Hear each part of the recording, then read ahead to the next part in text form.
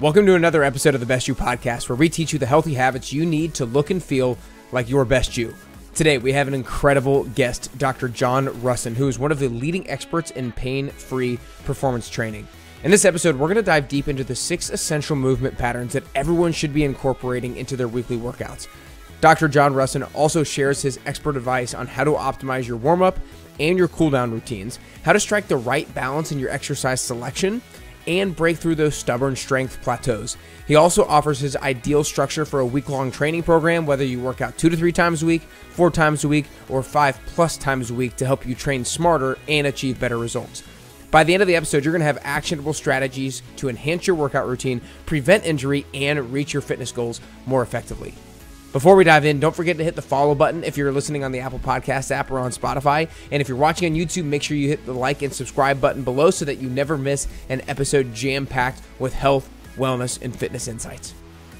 For those of you guys I have not met yet, my name is Nick Carrier, and I'm a body optimization coach and creator of the 10 Week Transformation, which has transformed the body and the lives of over 700 people so far.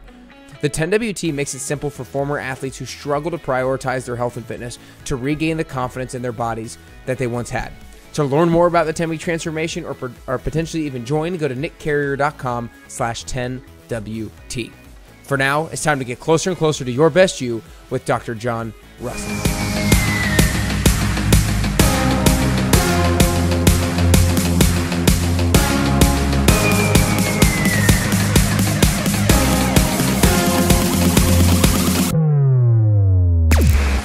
Right, what's up, everybody? Welcome back to the Best You podcast. Today, I am really excited to be do- joined by the one and only Dr. John Rusin. Uh, John, been really looking forward to this. Uh, as I told you offline a while back, I took the pain free performance specialist certification a, a f- number of months ago, and I felt like I learned so much just in the couple of days there. And then I started to really dive deep into your stuff and uh, your content, especially on Instagram. And I feel like I've been able to uh, take a lot of what you post on Instagram and apply it myself, and also with some of my clients as well. So first off, just appreciate you and the content and and the education that you put out in the world. So uh, excited to dive a little bit deeper here today in some of those things. I think I kind of want to start off by having you identify having you identify the six foundational movement patterns and why training all of them is really key for both performance and longevity.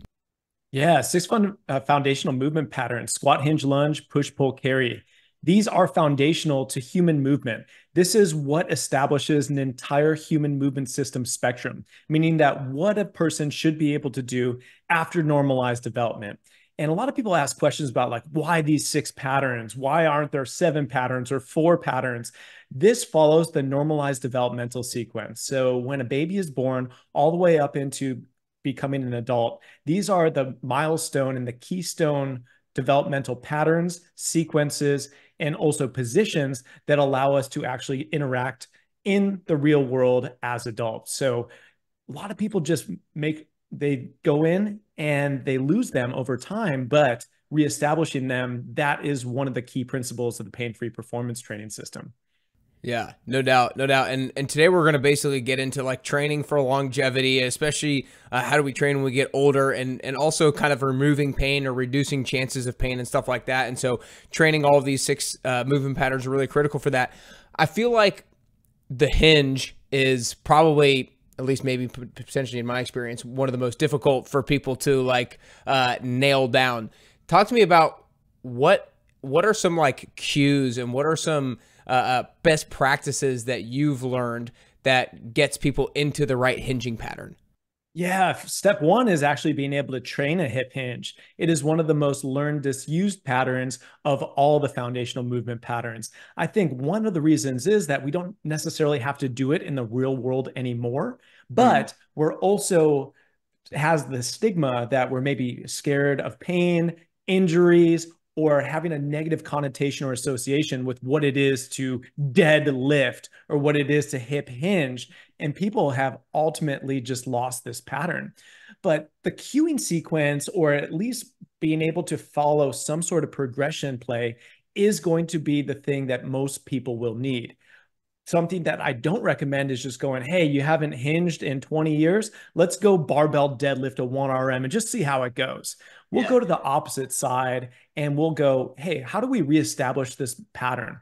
How do we build it from the top down? How do we be able to reintegrate it with more isolation, whether glute or hamstring based exercises, and actually reestablish and teach the hips to actually be the key compounding driver of the most powerful and the strongest movement pattern that we have at our disposal.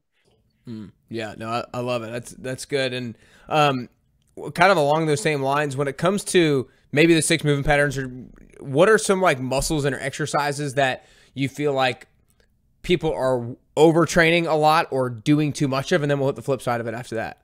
Yeah, the mirror muscles, man. It's like the pecs, the biceps, the abs. Those are the trifecta of overtraining at PPSC, we look at the opposite side of the body. We look at strength and resilience being built on the posterior chain. Really, a key focus for us is in the upper back, the ass, and down into the hamstring. So, those are the key drivers of power and performance, but also they are the things that keep us aligned and healthy for life and being able to do things not only just to stay healthy, but actually perform in the real world. Yeah, I love it. Let's let's dive a little bit deeper into that. I know that one of the things that you guys teach, especially from a uh, shoulder health standpoint, is this three to one ratio of uh, pulling exercises to pushing exercises on maybe like a weekly basis throughout your training, and then also like a two to one ratio of horizontal pulling rather than vertical pulling. Talk to us about first like the pulling to push, why that's super important, and then why the vertical to horizontal ratio, why that's important for like both shoulder health and I guess performance as well. Posture reversal is huge today because we're spending more and more time here on Zoom calls. We're spending on the phone, driving, sedentary, Netflixing, and chilling. A lot of our activities today are handheld technology based, or they are just basically internally rotated, protracted, and flexed over at the spine, the neck, and the shoulders. With that three to one pull to push training ratio, we are simply trying to restore a normalized function of the entire upper quadrant. So we have like the shoulder, the thoracic spine, the head and the neck, and that entire quadrant working together in the opposite direction once again. And the reason that we do this is because we've seen that testing out all different ratios from one to one to one to two to two to two, all these different things that three to one really allows us to still make gains and not neglect any patterns or muscle groups, but allow us to be the healthiest with the general recommendation. Taking it one step further, we really want to be focusing in on pull patterns as well. That's going to be the key pattern for shoulder health. So we want to do more horizontal pulling than vertical pulling big reason is that when we horizontally pull something like a row, we can actually maintain a neutral shoulder position or even move into external upon the pull concentric contraction. When you're in the vertical plane of motion, if you're pulling something like a pull up, no matter what your hand position is, upon that concentric contraction, while your chin goes up to the bar, we're going to have internal rotation at the shoulder. Doesn't necessarily mean that internal rotation is inherently dangerous. We just want to combat and restore the external rotation with the natural internal rotation that most of us are getting a lot of in our daily lives. Yeah. So essentially, just we have an excess of shoulder internal rotation. We need to kind of train that out of ourselves or, or balance it uh, by doing a lot of upper back exercise, pulling exercises, and such uh, restoring and balancing that's a great word because we want to be able to establish a full range of motion. That means mm-hmm. full internal and external rotation. If we're always sitting in internal rotation then we're going to lose those tail end ranges of motion into external and it becomes our new normal. That's not awesome when you go to actually use your shoulders. So being able to restore and regain the function throughout the entire range of motion is really key there are you somebody who used to be confident in your health, but you've fallen out of a good routine and you're looking to regain the confidence in your body and your health that you once had? What's up, you guys? I'm Nick Carrier, and I'm a body optimization coach and creator of the 10 week transformation that has transformed the bodies and the lives of over 700 people thus far. And I want to tell you about the 10 week transformation challenge. This is a challenge that will completely reset the way that you feel. It's going to completely change the way that you see yourself in the mirror and transform the way that you look at yourself in the mirror. We have a proven framework called the five steps to goal success that's going to allow you to set a very specific target, a very specific goal to be at by the end of the 10 weeks. Then we're going to set weekly goals. Then we're going to have the bat- most badass workouts that there are. And you're going to completely transform the way you look and feel in just 10 short weeks. This isn't just trying to look different or trying to feel different or trying to eat healthier or trying to exercise more This is a plan to do it at a super high level. And I'm the best fitness coach here in Nashville, Tennessee. And if you're in Nashville, you can join today at nickcarrier.com slash 10WT. If you're not in Nashville, Nashville, we have a virtual version of the program as well that you can also find at nickcarrier.com slash 10WT. So click on that link below and you guys, you will not regret it. There's over 700 people that have done it this far. There have been people who have done it 10, 11, 12, 13 times because they've seen such great results and just can't stop. So go nickcarrier.com slash 10WT to get started today. Yeah, I want to go into a lot of exercises that maybe we're neglecting or not doing enough of here in a second, but just kind of like I'm curious. You know, you you mentioned postural reversal. We do a lot of sitting down and doing stuff. I know you're active because you're doing training and stuff like that. Uh, maybe more than uh, the typical human being who's sitting at their desk for a nine to five. But are there like daily things that you try to do or things that you try to do in the week to like ensure that your like structural alignment are staying at where you want them to be? Yeah, uh, no doubt. Uh, six phase warm up seven days a week. And that's mm. something that we really go into external rotation, extension, and abduction, not only at the upper body, but at the lower body. I'm guilty of it just like everyone else is. I'm not sitting here pointing fingers like the postural police.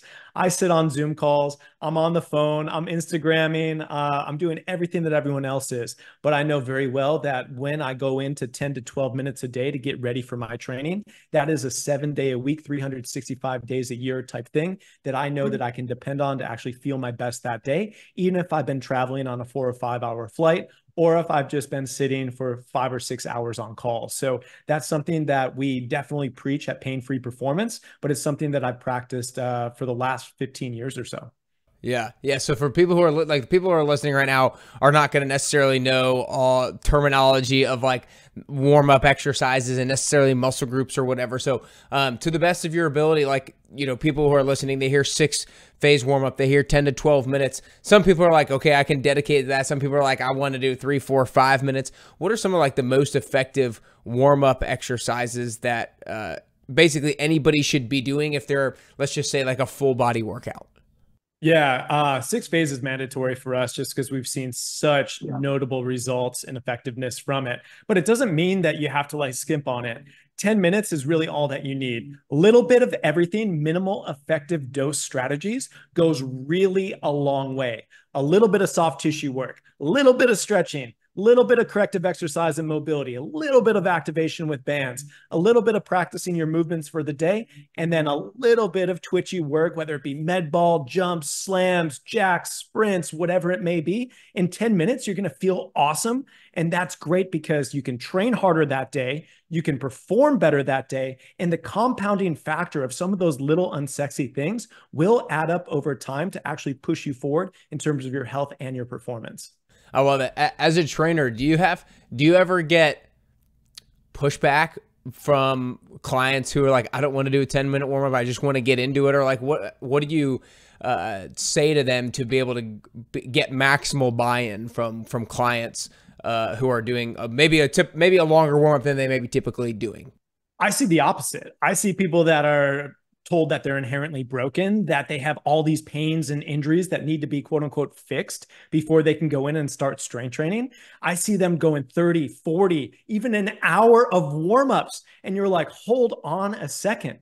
Let's look at minimal effective dose and actually get you the same result in a fraction of the amount of time. Very rarely will I have a client or an athlete that comes to me that's like, yo, I don't want to do this warm up at that point in time, if they're coming and working with me or any of my staff, they know very well that health is wealth. And that is a portion of staying healthy, which is your preparatory work before training.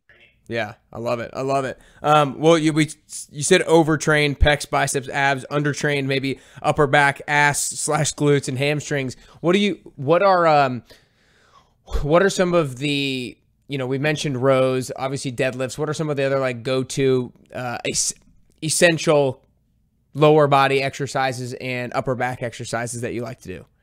Upper back face pull is the king. I love face pulls. I like them from different angles with different training tools, with different hand positions, with different lower body positions. The more face pulls, the better. It essentially reverses the exact position that you would be in if you're on your cell phone texting right now.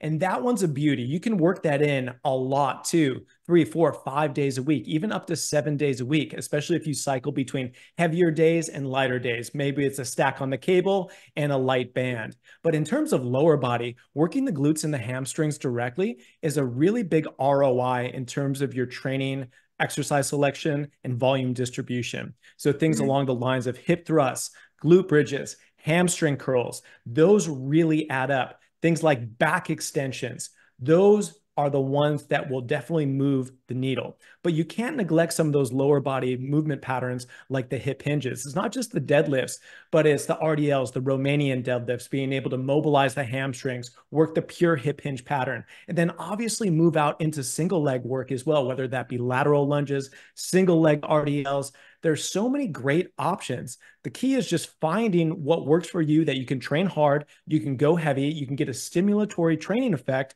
and then being able to build your arsenal of quality movements that you're confident and competent in. Mm, I love it. When let I want to talk about uh, doing like the barbell deadlift, for example. Is there a minimal required strength that you look for for somebody before like bringing them to a barbell deadlift or is it mainly about uh, having the proper technique from the hip hinge pattern? Um, because i mean obviously the barbell deadlift can go to as light as 45 pounds unless you have a, a lighter bar and goes down to like 35 pounds or so. Uh, but is there something i guess is there a uh, prerequisite before you go into a barbell deadlift with somebody combination of uh, movement pattern and strength yeah, there's no absolute strength prerequisite for barbell deadlifting. Uh, relative strength is going to be something in the mix. You know, a 100 pound lady versus a 300 pound guy are going to have two totally different strength capacities. But I'm more worried or I'm more cognizant of being able to have the motor skills to be able to set a client or yourself up for success with the pattern. And mm. that really goes in on a progression scale of how we would build the hip hinge. You would go from an isolated hip hinge, something like hamstring curling, glute bridging, hip thrusting, into introducing something with a horizontal force vector, something like a pull through or a horizontal hip thrust, and then going in and introducing the compound pattern from the top down, meaning that you start in a neutral position, whether it be a dumbbell, kettlebells, a barbell, and you're actually going down through that extended range of motion with a neutral spine position, with the pelvis and hips that are actually translating posteriorly towards the back. And that looks really good, and you're getting strong, and you're getting all the gains from that. The step up from there, from an RDL top down, would be something that takes center of mass into play, which is trap bar deadlift off the high mm. handle. One of my favorite exercises that are extremely accessible for almost every single person. And at that point in time, when somebody's looking awesome, their strength metrics are going up, their form is locked in, and they're having the want to go to a barbell deadlift. That's not everybody. We don't actually go right to a barbell deadlift from there. We'll go to a barbell rack pull or a barbell block pull which will manipulate the range of motion to make it more accessible for their unique needs, body type, joint type, anthropometrics at the hips, the shoulders, and spine. And then we get to the top of that pyramid. If it is a needs or a wants thing for people, maybe they want to go in and power lift. Maybe they're just really super psyched about doing a barbell deadlift off the floor. Then we'll be able to access that, having earned the right to get up to that level five. Mm, I love that. I love that progression.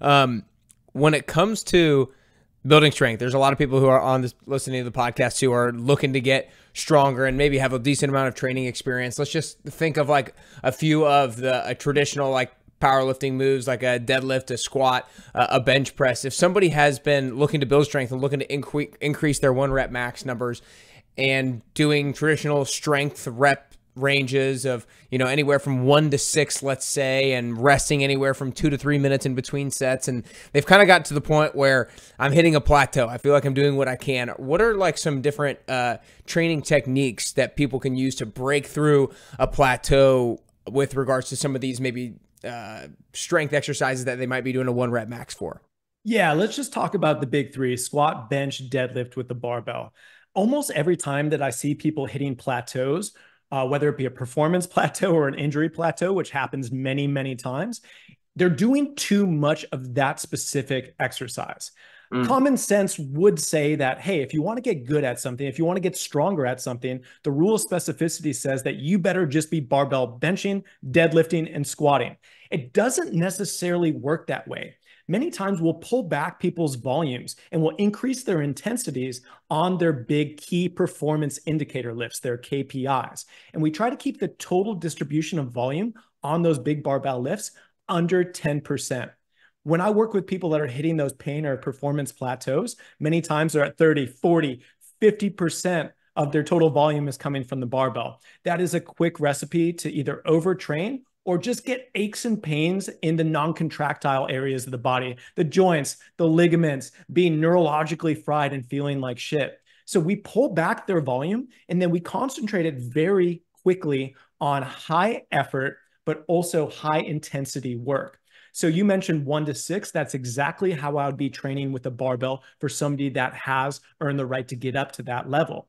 And with that, we would be concentrating more on the one to threes. As soon as you get into the fours, fives, and sixes, your breathing and your repeat capacity becomes a little bit tougher to manage.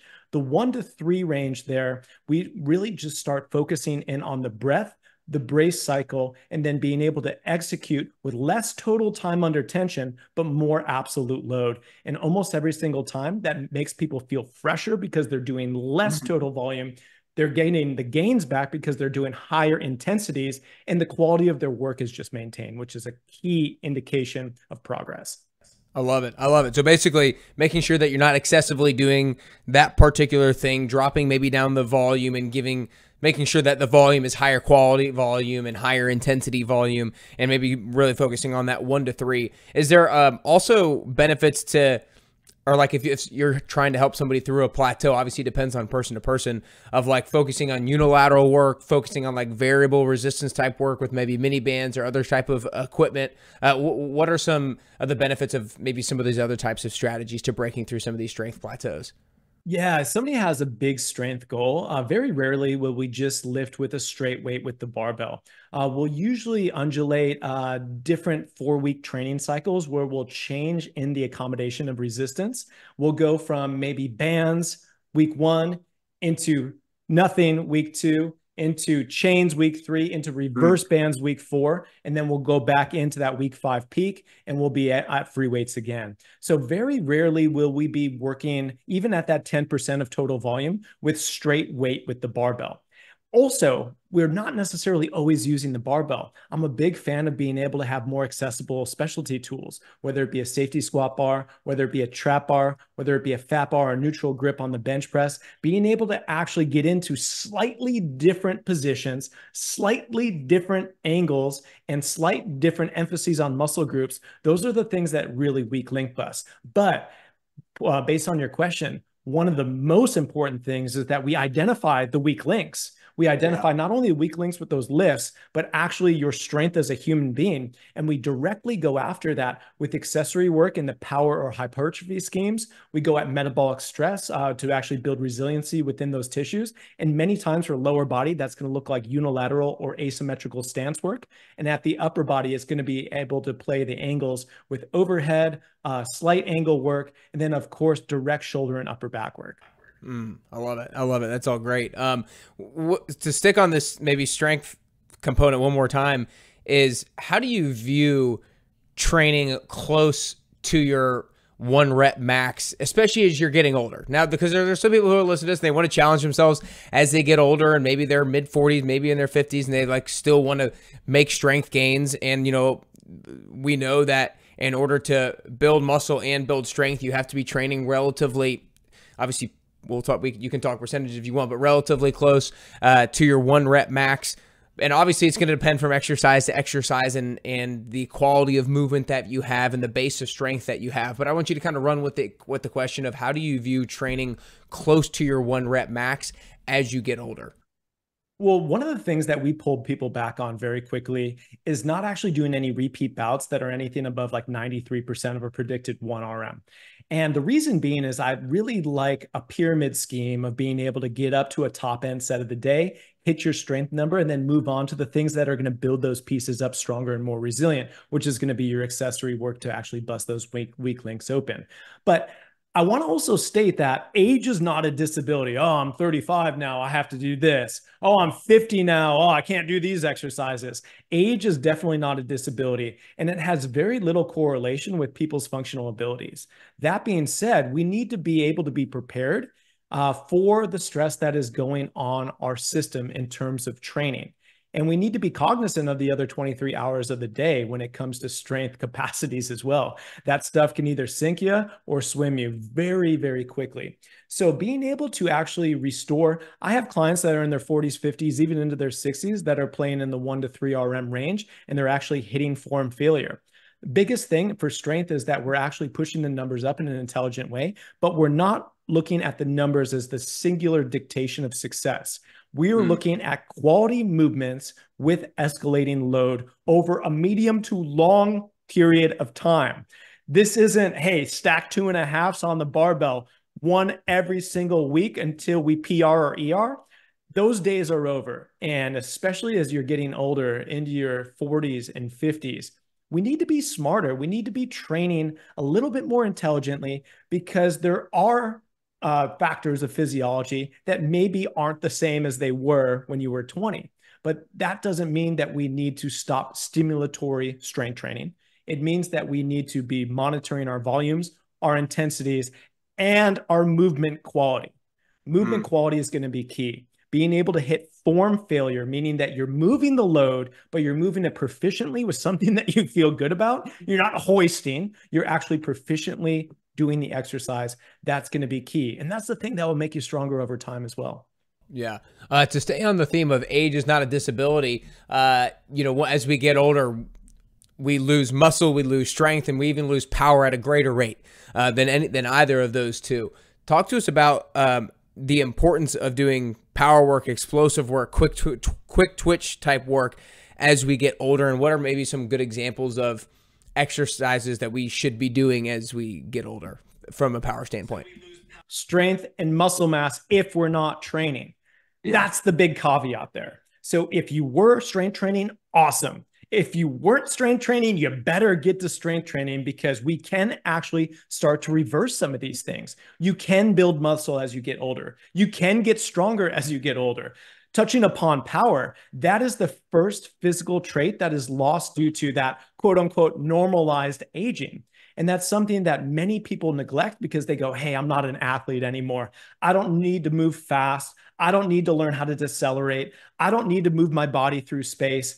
And athleticism and power go hand in hand. Being able to build in portions in your warm up and then also in your off days from actual strength training with a barbell or dumbbells, that is going to pay off dividends for you to be able to do what you want to do, not only in the gym, but outside of the gym. But being able to train not only power on concentric, but controlling an eccentric deceleration, that's the name of the game for longevity that most people are not looking into. Mm, I love it. I love it. What are some uh, exercises that you like to run people through both from a concentric and eccentric standpoint to ensure that they are able to uh, train explosively and maintain power as we get older. Yeah, uh, functional power for us needs to be an integrated model. It's not just upper body or lower body or isolation work for a key muscle that's creating power. It's a global integration between upper, lower body with synergistic sling systems. Keeping that in mind, any tool that really taps into those synergistic sling systems, we really like kettlebells and also landmine. That takes all of our power and is able to harness it through degrees of rotation with the upper and lower bodies together. So any type of landmine or kettlebell swings and snatches and presses and cleans all of those are super awesome. Add rotation into that, break out of the sagittal plane, and you're really doing well. And anytime that we can actually move our feet through space with a step, the step is really the unlocking of the ability to decelerate. Deceleration can happen at the upper body. Of course, we do that with landmines and kettlebells, especially as we go up overhead or in slight angles overhead. But when we're talking about deceleration as a protective mechanism for people, it's all about the step, whether it be step forward, step back, step to the side, step reversing into a curtsy. Those are the positions that are able to integrate. And many times people don't leave the bilateral sagittal plane in their training, and it's a huge mistake. Yeah, yeah, no, I love it. I love it. So much great stuff there, and uh, we're winding down here on time. But I and this next question could be a whole another podcast in and of itself. But I still think it's uh, worth diving into just just briefly here.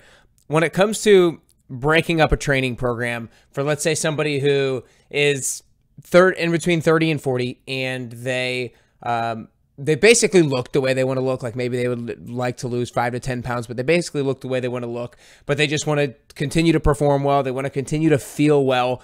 How do we, and they can, they want to continue to set themselves up for success for future health and performance longevity and whatnot. Um, how do you break up, how do you think about breaking up a training program across like the week with including mobility, strength, power, hypertrophy, cardio, and conditioning? Again, I know this is like a huge question, but I would still like love to hear, uh, and I know everybody else would love to hear at least a quick take on on that.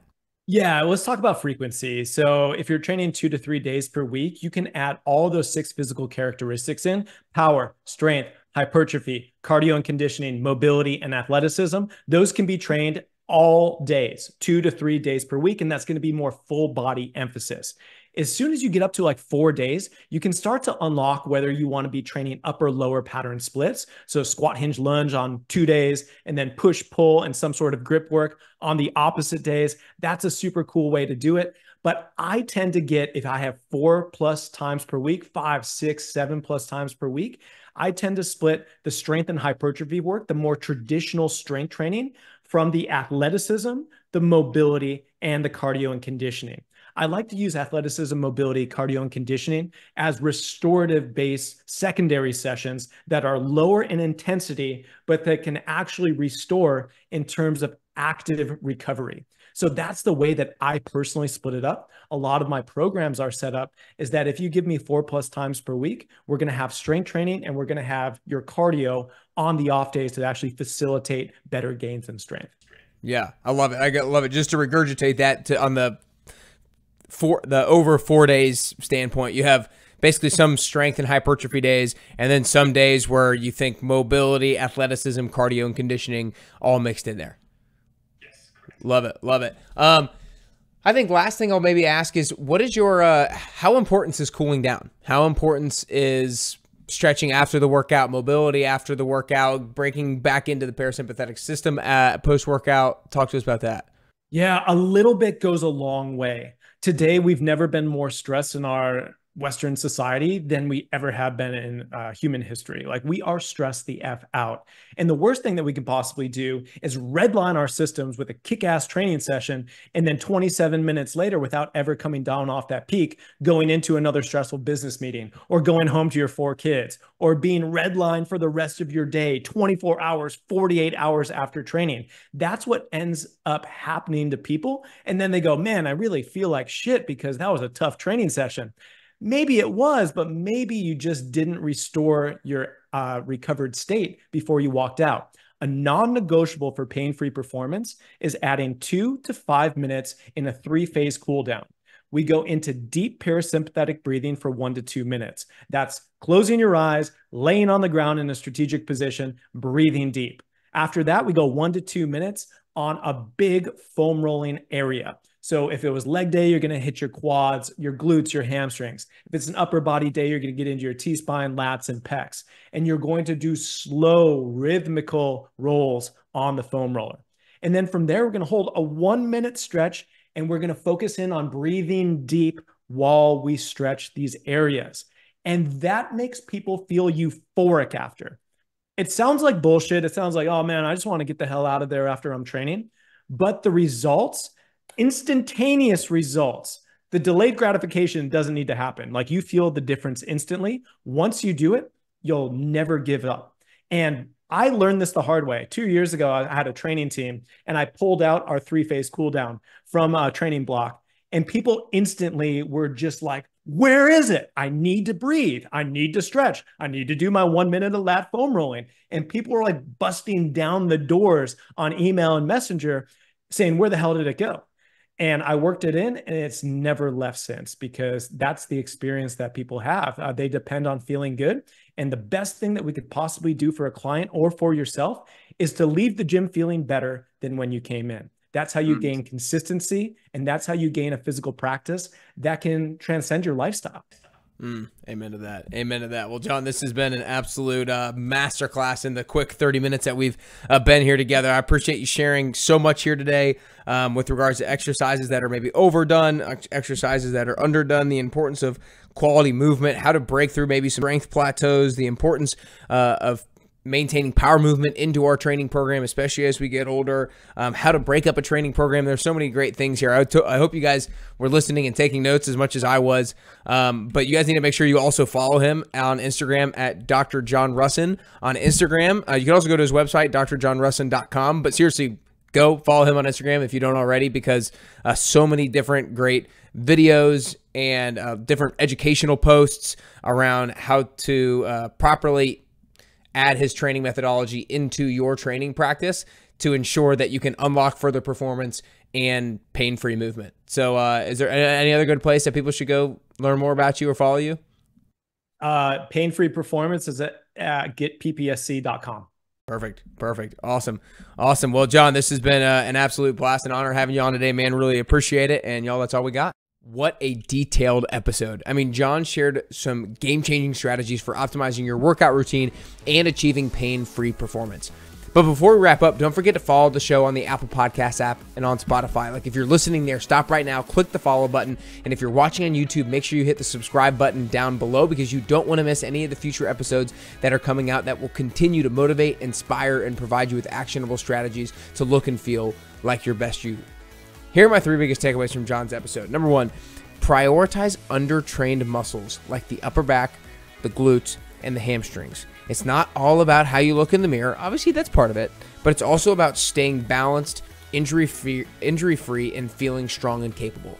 Number two, the warm up and cool down are key. I'm not gonna lie, I can be guilty on skimping on these parts of the workout, but they are key to optimize your performance and injury prevention. Add in about a 10 to 12 minute warm up and a two to five minute cooldown. And then third and finally, integrate the proper exercise balance. Things like doing a three to one ratio of pulling to pushing exercises, ensuring that you have all six movement patterns covered throughout your week. Train strength, train hypertrophy, power, mobility, and conditioning. Understanding how best to integrate all of these into your weekly routine will unlock a completely new version of you. If you can do these things, then you'll continue to get closer to the healthiest version of yourself, and ultimately, you'll get closer and closer to your best.